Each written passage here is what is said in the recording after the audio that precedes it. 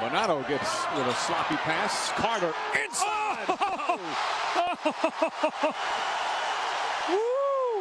and the crowd responds to a spectacular dunk from Vince Carter. Now you see why Frédéric Weis is going to go play in Greece. He didn't want to see that on a nightly basis.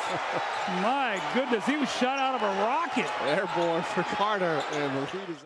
That's like something Watch that was this. set, set up in a slam dunk contest. Look at this. He scissored over his head. It's almost like, where did he go? My goodness gracious. Vince Carter, slam dunk champ. And more importantly, that a guy who now is becoming a great all-round player. The great steal.